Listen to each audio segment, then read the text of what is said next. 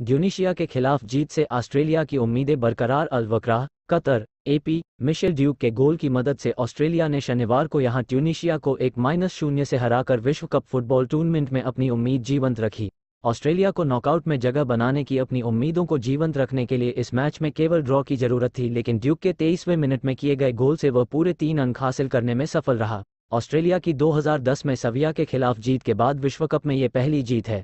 इस परिणाम का मतलब है कि ऑस्ट्रेलिया अभी अंतिम सोलह में जगह बना सकता है। वह अपने पहले मैच में मौजूदा चैंपियन फ्रांस से चार माइनस एक से हार गया था। ग्रुप डी में अब फ्रांस और ऑस्ट्रेलिया दोनों के तीन तीन अंक हैं। डेनमार्क और ट्यूनिशिया के एक एक अंक है। फ्रांस को अभी डेनमार्क का सामना करना है। इस ग्रुप के अंतिम चरण के मैच बुधवार को खेले जाएँगे, जिसमें ट्यूनिशिया का सामना फ्रांस से और ऑस्ट्रेलिया का डेनमार्क से होगा। इस मैच में दोनों टीम की शुरुआत अच्छी नहीं रही। ड्यूक ने ऐसे में अपनी चपलता दिखाकर गोल दागा। उन्होंने पहले मैदान के बीच में गेंद को संभाला और फिर उसे क्रेग गुडविन के पास दिया। इसके बाद ड्यूक ने तेज दौड़ लगाई और गुडविन के क्रॉस पर दर्शनीय गोल किया। ड्यूक ने गोल करने के बाद अपने हाथ से हवा में जे बनाया जो उनके पुत्र जैक्सन के लिए था। जैक्सन स्टेडियम में मौजूद थे। इस गोल से लाल रंग के वस्त्र पहनकर स्टेडियम में पहुँचे ट्यूनिशिया के समर्थक सन रह गए, जबकि पीले वस्त्रम से सज्जित ऑस्ट्रेलियाई प्रशंसक वलियम उछलने लगे। ट्यूनिशिया ने पिछले मैच में यूरोपीय चैंपियनशिप के फाइनल में पहुँचने वाले डेनमार्क को गोल रहित ड्रॉ पर रोककर प्रभावित किया था।